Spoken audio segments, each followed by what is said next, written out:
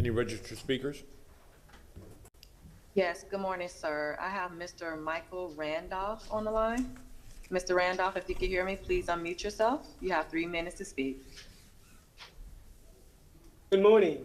Hope everybody's well. Um, hope everybody's getting ready for Thanksgiving. My name is Michael Randolph, and I'm with the West Tampa uh, CDC. I'm here today to talk about updates on the Rome Yard uh, project. As you know, there was a big meeting uh, a couple days ago. So I want to start by giving a shout out to the team. The two lead groups is the Related Group and Tampa Housing Authority.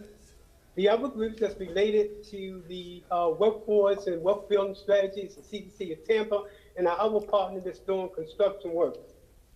We have um, we have been um, we have been building to identify.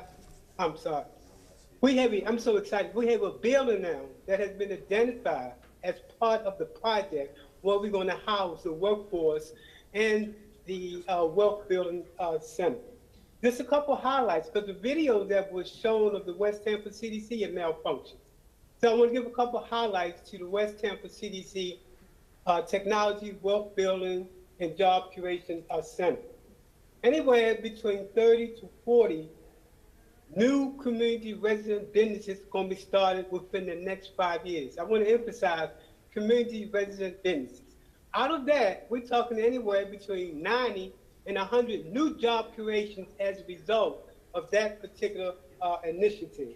Our tech center, which is going to change the narrative as to the future, is going to focus on teaching residents in West Tampa how to code, how to use software development, how to build game application, mobile application.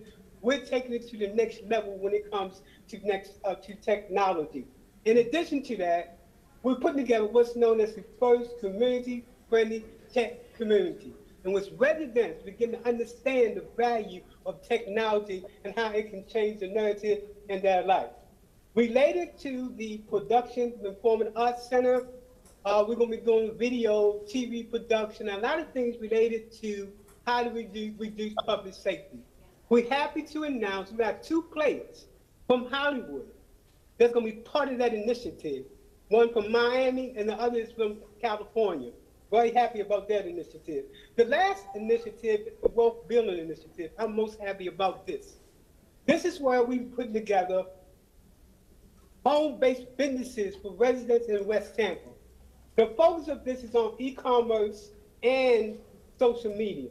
What's important about this is focus on supplemental income for senior citizens, working with people with criminal records, low income, and the disabled, in order to give them the skill sets necessary to earn those dollars necessary to stay in the community. We know that the research shows that you have to have three jobs to, to actually get a house in the community. Thank So you very much, sir. Thank you. I'm sorry, I went over. Thank you very much. I've just been informed we have one more public comment speaker on the second floor.